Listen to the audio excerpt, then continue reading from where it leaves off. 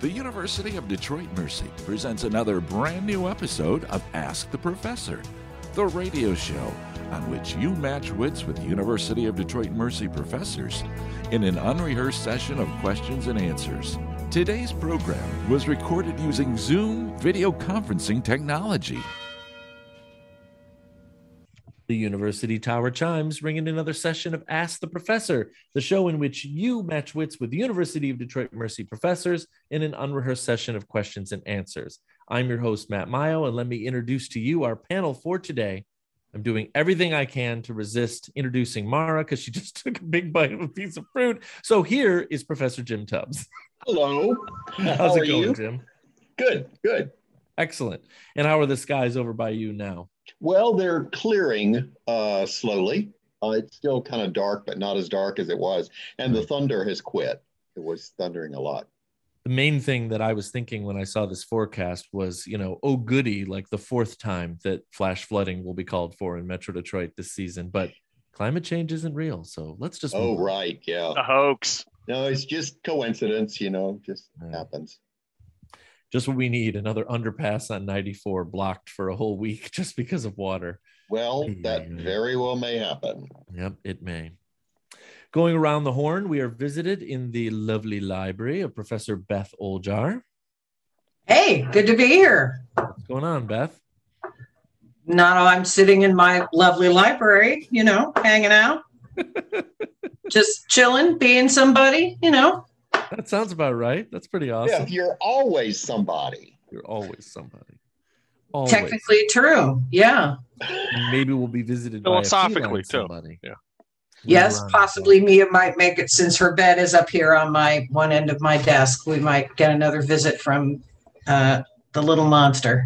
Got it. And I think Dave is just trying really, really hard to participate in the cat. I need a cat. I need a cat. Is that the Canadian Hello Kitty? Cats are great pets. They're Oh, incredibly Lord. self-sufficient. Luckily, your Talk drawings to the butt. don't translate very well to radio. Thank goodness. Uh, Professor Dave Chow, if you haven't figured that out, is also here with us today. Pleasure to be here as always. Thanks for um, reminding us how great that Cats movie was from a couple years ago. Yeah, thanks for that. Uh, yeah, I'm gonna see that in the double feature of Gigli too. Okay. Festival Uh, of the worst movies of all time. Well, they are back together, so you know it must have Well, it's true. It's true. dear Lord. Um, I'm hoping that Professor Mara Livezey has made it uh, X number of uh, bites through her peach and she's ready to be introduced. Absolutely. Hello. Is it a peach? It's a peach. My eyesight isn't as I thought it was a nectarine, but okay. Yep. Okay.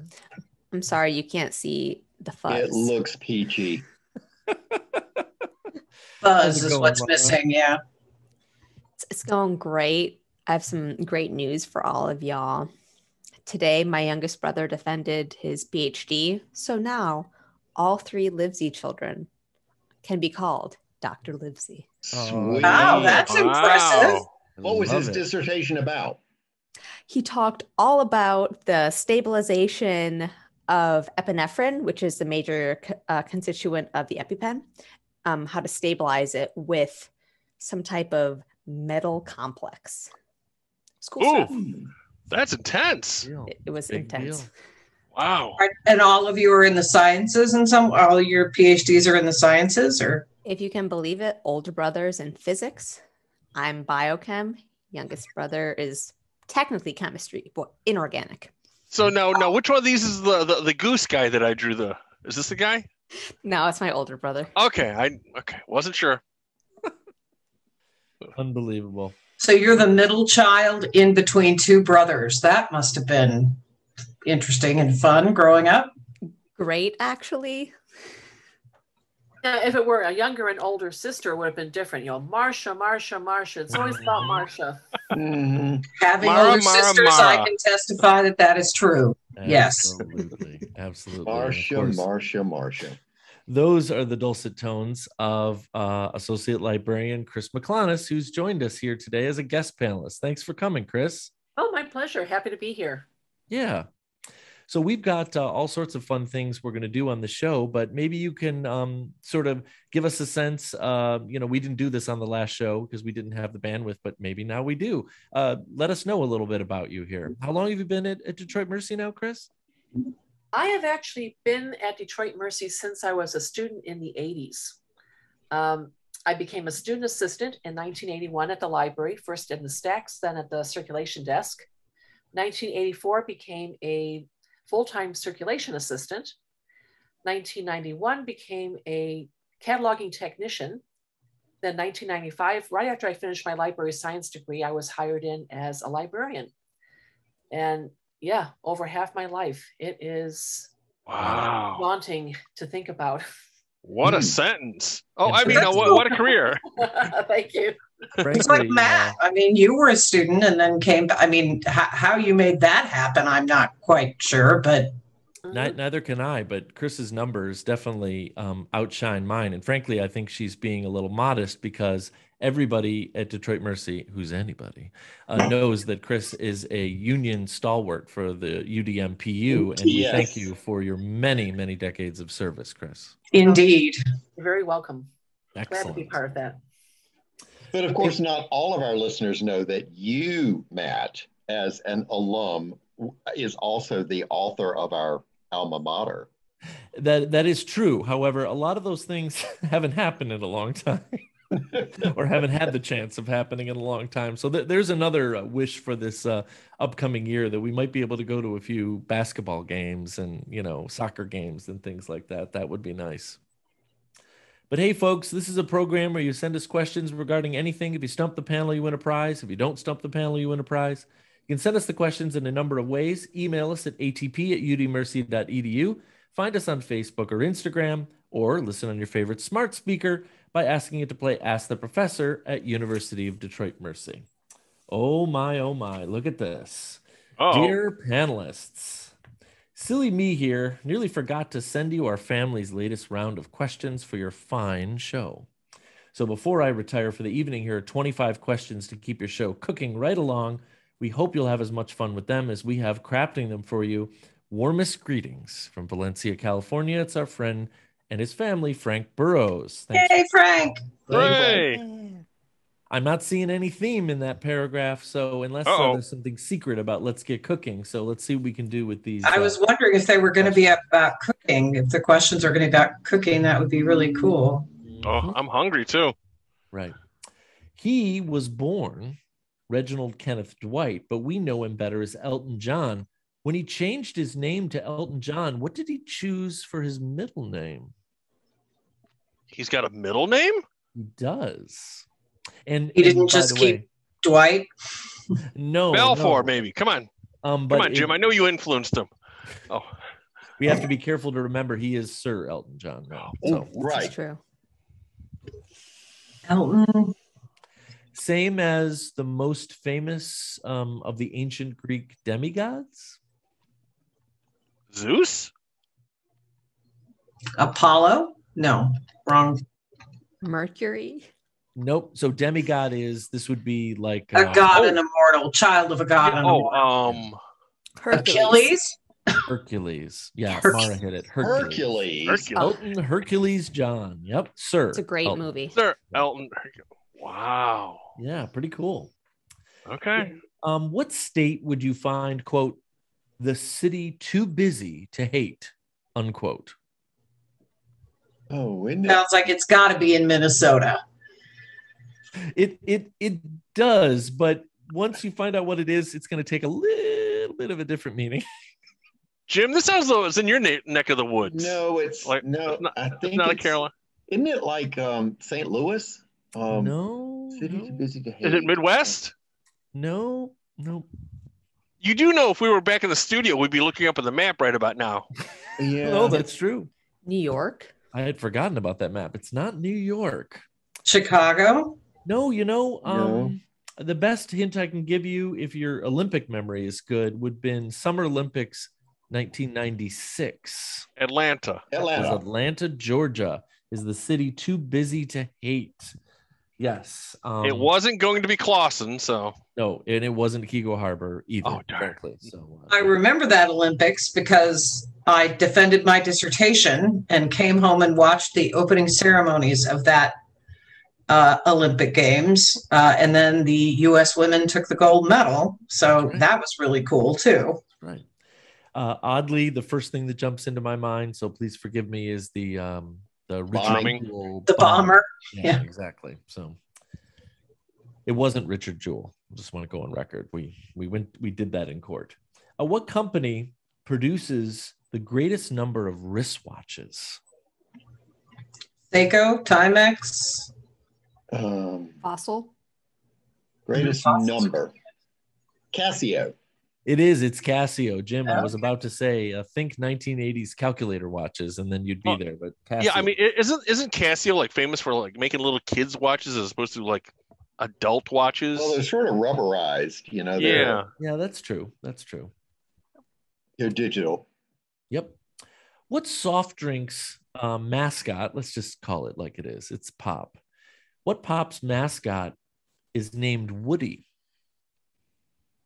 Vernors the gnome. Yeah, it is. Vernors. The Vernors Okay. gnome is Woody the gnome. What do you think? Hmm. He's cool. I could Woody's deal with it. Cool. Never heard of Vernors till I moved here. So It's I okay. didn't know that any pop had a mascot, so this is all new. And of course, you know that Vernors is considered a medicinal pop right up there with Coca Cola. Mm-hmm. Right. That's Speaking absolutely of right. medicinal, did you hear that Mountain Dew is going alcoholic?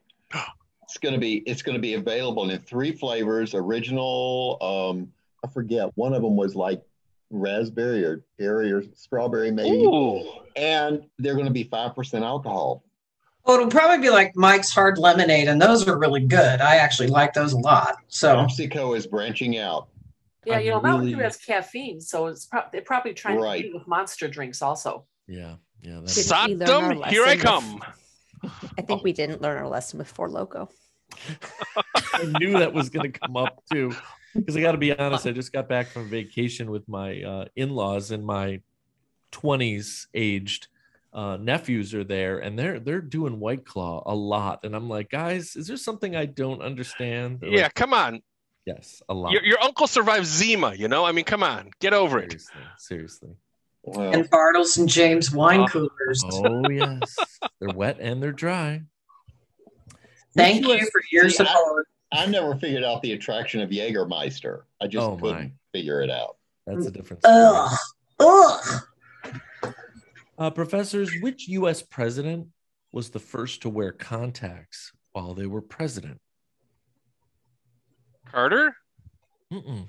Clinton, Nixon. no JFK. Obama, it's fairly modern era, but I just haven't heard his name yet. Bush. Reagan. It was Reagan, is what it says here. Reagan was the first to wear contacts. Yeah. Oh well, he was an actor. I mean, I was just thinking, yeah. Oh, okay. yeah. Yeah. okay. All right. Can't bothered to wear eyeglasses, right? Harms his look. Wow, here's something I've been missing during the pandemic. And I know I brought this up before and you all make fun of me, but I don't care. Who was the reality show Survivor's first season winner? Somebody named Richard. Oh yeah, Hatch, Richard That's Hatch, that- wasn't it? Yeah, Richard Hatch. Yeah. Yeah, it was Richard Hatch. That was his name. Wasn't that also the same name as the guy that played Apollo on Battlestar Galactica? Yeah, there was an Yeah. actor. I was just going to say there was an actor of that name that I recall. Okay. Wow. All I'm saying is, um, they they of course, even if they were remote and on an island or whatever it is that they do, they they did not record for the last year and a half. So, um, for the first time ever since the year 2000, doing two seasons a year. So season 42 coming up very soon of Survivor. Pretty. I unbelievable. played the board game version of Survivor, and Drew voted me off the island. So, Oh, that's horrible. Wow. well, he said uh, you were the biggest threat. So I'm like, Yeah. okay. Makes you feel good. No, I mean, do you remember the old TV show Missing Link? Oh, You know, yeah. they kind, kind of go around. Yeah, there's usually three contestants left, and they always vote off the smartest one. You know, when it comes down, you know, because you want the least competition. It's fair. It's take it as a compliment, Beth. I thought it was a pretty good save. So You tolerate them. Professors, what Australian band released the album titled Business as Usual in In Men at work. Mm-hmm. Men at work, absolutely. In what body of water do you find the Belcher Islands? B E L C H E R. They should be near Australia, but probably. Belcher. Are Actually, to not. be honest, relatively speaking, they're pretty close to where we are. Oh, Uh, the One- Detroit River. Eh, a little bit further, Kris. A little bit. One of the. Great Lakes. Um, nope. Oh, Uh, Lake St. Clair. Water. No. Um, or Lake Erie for going further south. I know. Well, they're what process of elimination. Okay. I don't So- think they're is- in, they're not in Washington. Nope. What's the largest body of water that's not a Lake Superior, close to where we are right now? Lake Michigan. Nope. I'm looking for uh, Hudson Bay. Is actually where it is. Oh, Oh, Hudson Hudson Bay. Ugh. The great, forgotten great store. Lake. Yeah. Could have said West Point. That would have been a help, but Mm, Okay. Sorry. Sorry. Can you name at least two of the four Detroit Tigers minor league affiliates? Lakeland, Toledo Mud Hens. Toledo Mud Hens. West Michigan, Yep. West Michigan Whitecaps. and Uh, Jim actually said Lakeland, or somebody did, the Flying Tigers. The only one you haven't mentioned um, are the Erie Seawolves. Erie. Yeah. Okay. Oh,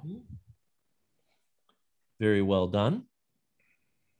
And I was trying to explain to my son the other day no, the more A's, the higher the level of that team. The less A's, the lower the level. And they're like looking at me like, why didn't they just use numbers? This is dumb. Yeah. Their logic is, you know, sensible to me. So Uh, who is the only U.S. president who got married in a ceremony that took place in the White House?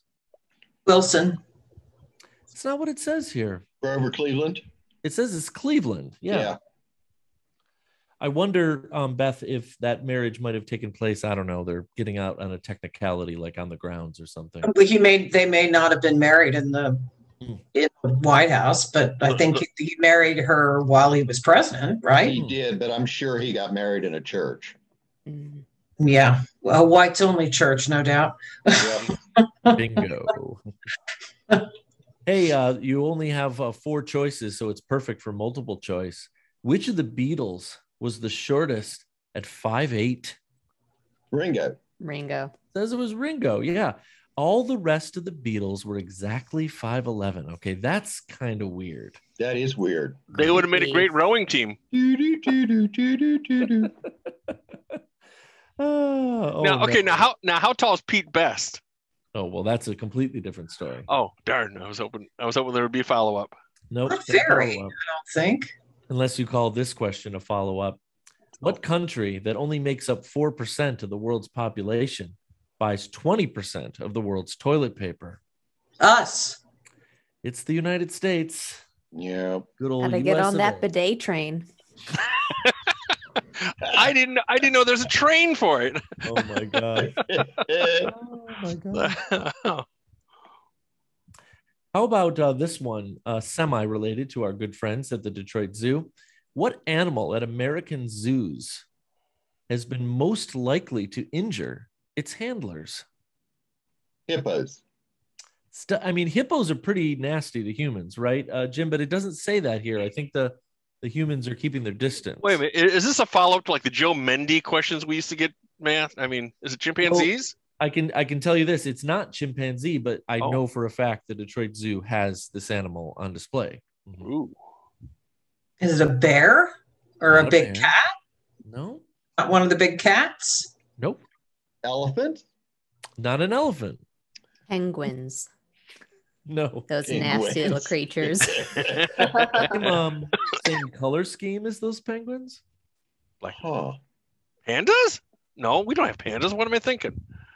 Uh, Black and white? What what is black and white do? That's the zebras. What? Kick 'em in the Zebras have uh, injured more handlers in the history of American zoos than any other animal. That's Oh, is pretty that saying something about the handlers of the animals? I mean, But they're just horses that are painted with stripes, right?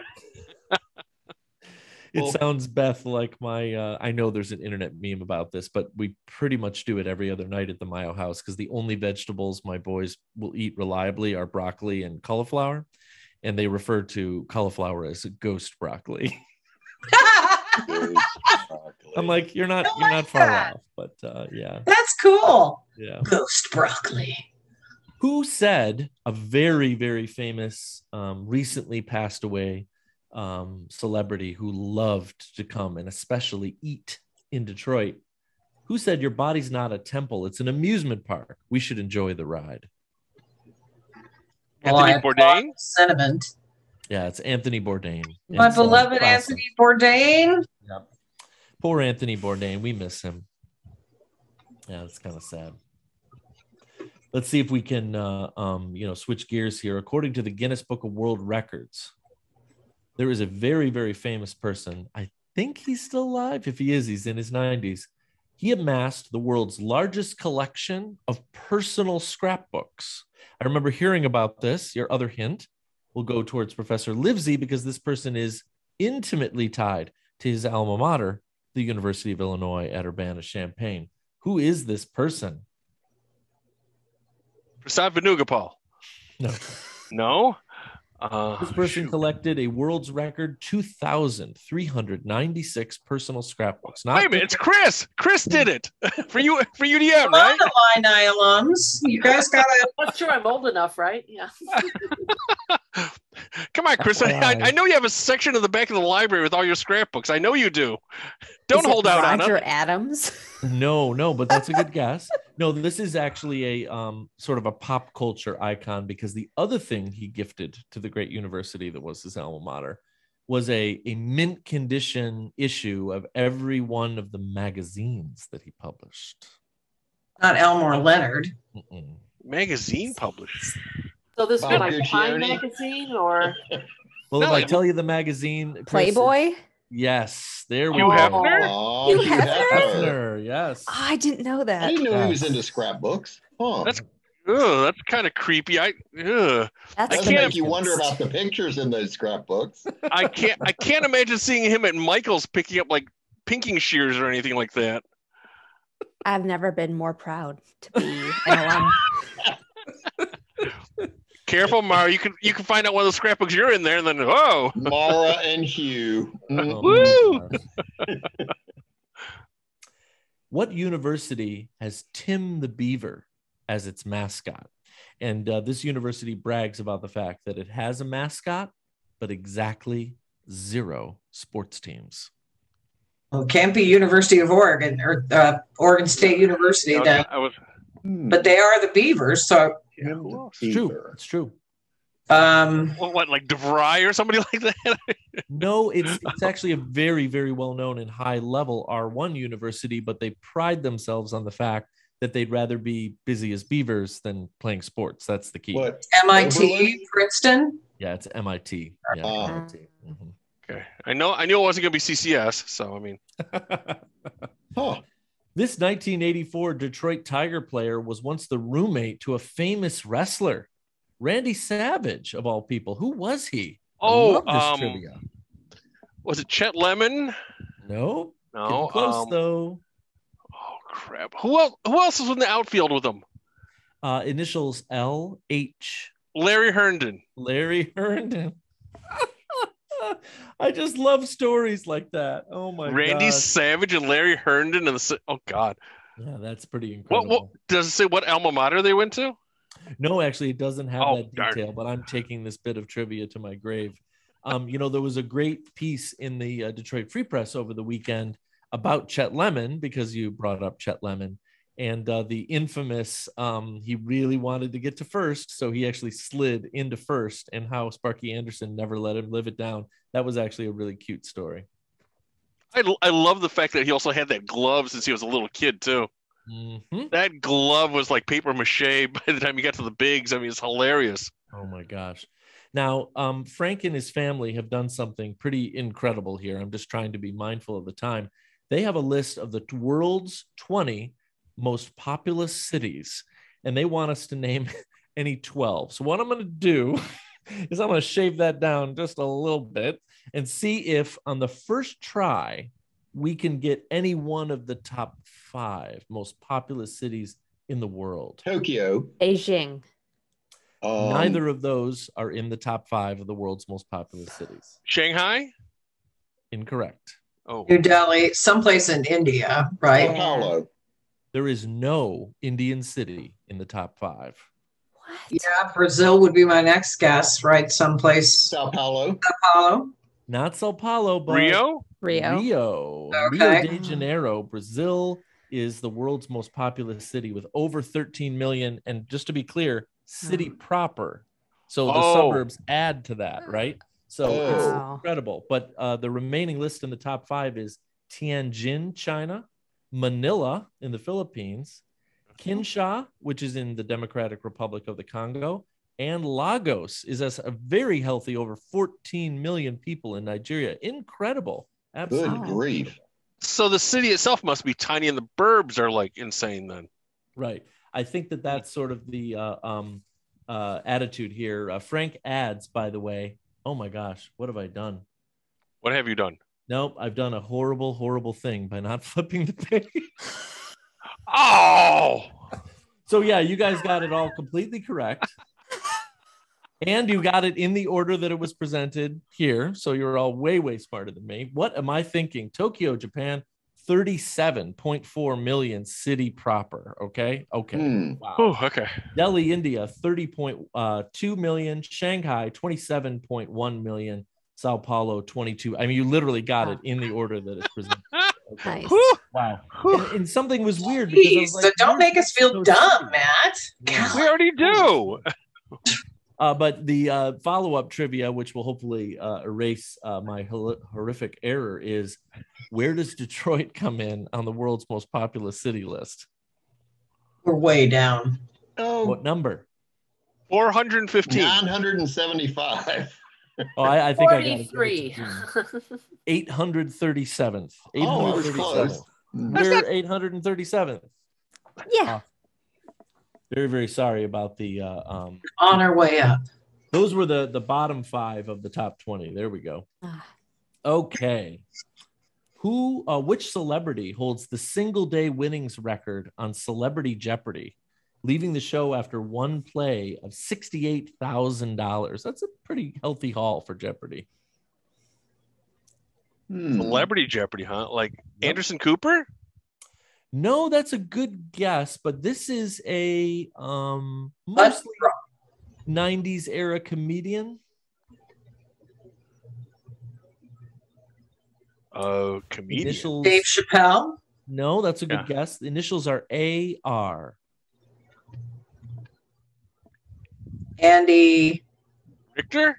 Andy Richter. There we go. $68,000. Wow. I always have this theory on Celebrity Jeopardy. The questions always seem to be about two or three steps more straightforward than regular Jeopardy. I don't know if anybody's been watching recently, but all sorts of interesting controversy surrounding who the uh, permanent host is going to be going forward. Did you see who they chose? Yeah, and then they rebooted it again because, of course, people have skeletons in their closet that they didn't. No, no. I, I heard today that you know Mike Richards is chosen and Mia Bi was it Bialik? Is that Right. she's doing a, a spin-off. Right, right. There's going to Oh. be a um, syndicated Jeopardy for like the college tournament that actually will appear on on different channels, so they can. Uh, But Matt Jeopardy has a thing against her. yeah, I mean, I don't know if if all of you have been watching all of them. Some have been better than others. LeVar Burton was actually a, a freaking joy to watch host. He was just sort of like so excited. He was so happy the to be there. Yeah. But there Why were other people him? like Mehmet Oz that I was just sort of like, let's just not Yeah. watch that week. you I know? thought Mayim Bialik did a good job Yeah. on there. Matt doesn't like her because she says, "Why? Why is it that you don't like her?" She falsely claims to have a doctorate in chemistry. Is that it? She has a degree Neuroscience. In, yeah, neuroscience, but she asked to be referred to as Dr. Mayim Bialik, but she's not technically a practicing scientist. Mm. So I'm just Did it she just get a rubs me PhD? Does she have a PhD? She has a PhD. She's just not practicing as a scientist. Okay, well, if she has a PhD, she gets the doctor. Yeah, uh, you know, and I understand that it's a touchy subject. I'm just getting a little bit of a Dr. Laura vibe. Is the point that I'm Oh, trying to ooh. You know what I mean? Fair enough. Like, I don't think there are too many other comparisons to be made there between her and Dr. Laura. you know, no, no. As far as I know, they both are people, but we can just sort of leave it. bipedal. One more question before we have to uh, slam dunk the end to uh, me screwing up this giant list that started on one page and ended on another. Who are collectively Richard Bachman, Mary Westmacott, and Paul French? Well, Richard Bachman is Stephen King. So that's a good lead.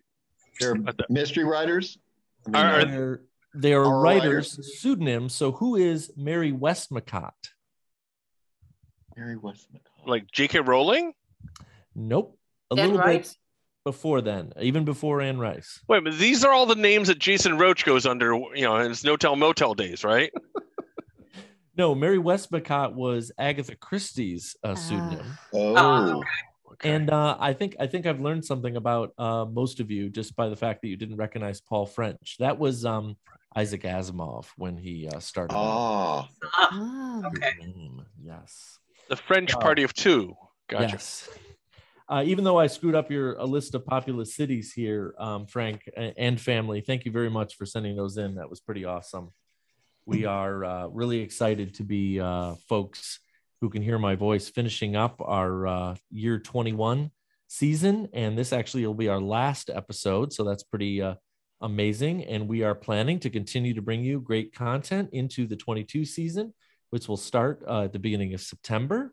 We're gonna start And- bringing good content for once. When did that? yeah, hap- when did that happen? That's the plan. The We plan took is a Oh. vote without you, Dave, and we decided Oh. we wanted to go with some good content. So I'm being voted off the island again, right? Yep. right, right. Mara and I are now in charge.